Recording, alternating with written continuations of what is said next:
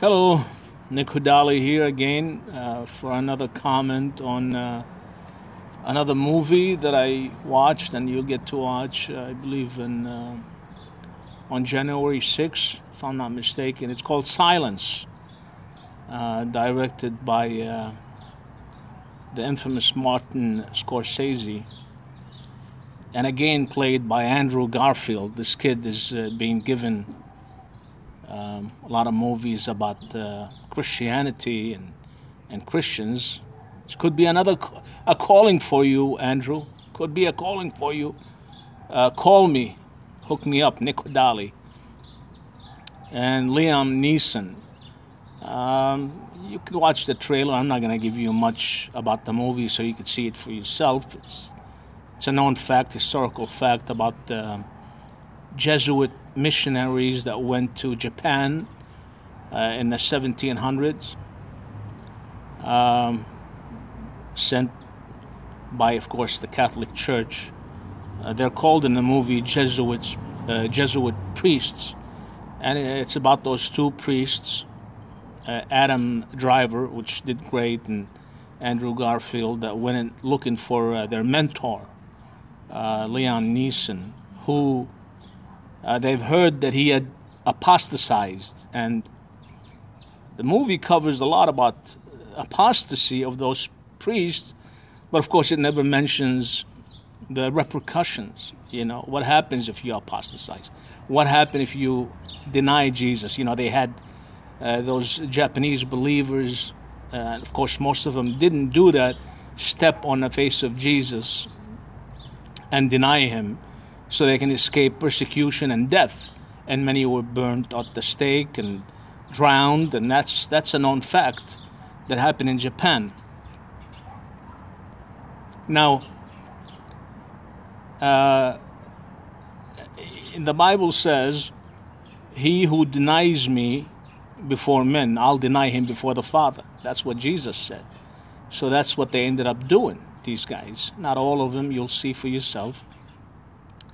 There's not a mention of that. Hollywood isn't going to tell you this kind of fact, but it glorifies the apostasy, which is mind boggling. Now, my comment would be after the fact. You know, when I when they these guys sat down uh, on a panel, you know, and they the moderators start talking to Martin and Andrew and, and the rest of the crew and the cast.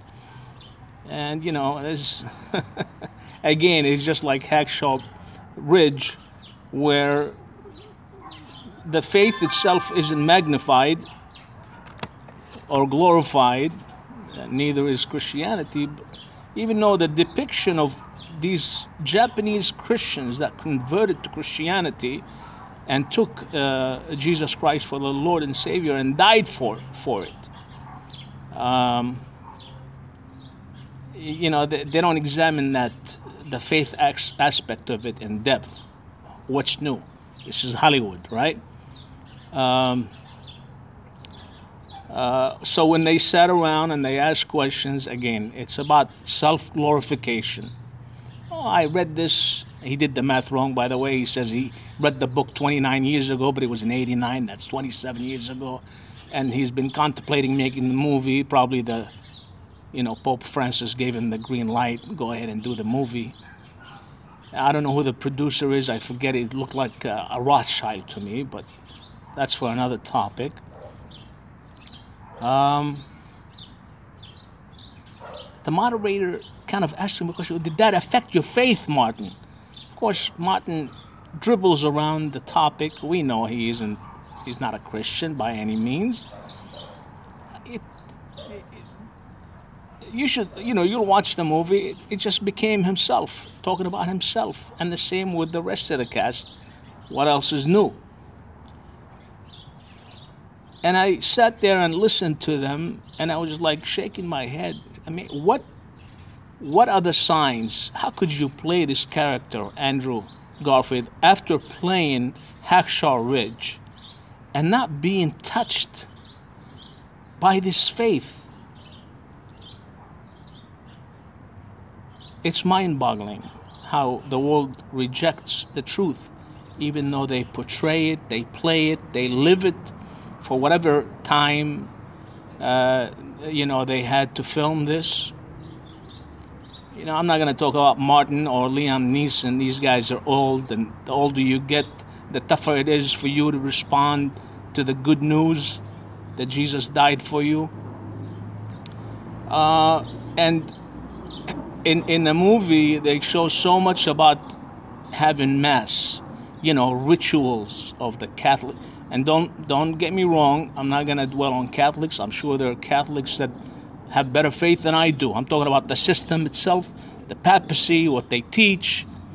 Um, uh, but somehow those Japanese that turned to Christ and died for it understood the message of the cross. For the preaching of the cross is to them that perish foolishness. But unto us which are saved is the power of God. Some of these guys, the Japanese, understood the message. What is impossible with men is very possible with God. Uh, remember the saying where I could rise up children of Abraham from stone. You know, God doesn't need us. But if you're called to be a vessel of honor, then you should be. So, my message to you, and I, li- I like you, Andrew Garfield, and I know you told Jimmy that you're proud to be a Jew, whatever that means. I don't think you're a Jew. You know, you got to look at the Pentateuch in the Torah. Read the Tanakh for God's sakes. I don't think you keep the Sabbath or you. There's no temple. You can't do animal sacrifice.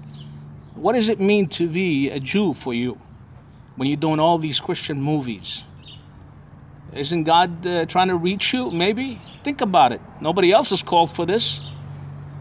So you'll see the movie for yourself, and uh, you can go over the previous comment on Hacksaw Ridge, which for some reason I took it took it for granted that uh, people had watched the movie, but I commented before the movie was out. And now they've seen it. You can go back and look at my uh, comments on it.